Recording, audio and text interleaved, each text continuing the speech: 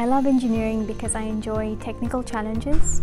I enjoy the flexibility of being able to work in multiple industries. Um, engineering has taken me far from where I've come, especially as a systems engineer here at the SKA HQ. It's afforded me the opportunity to travel extensively and to work with people from multiple backgrounds and cultures.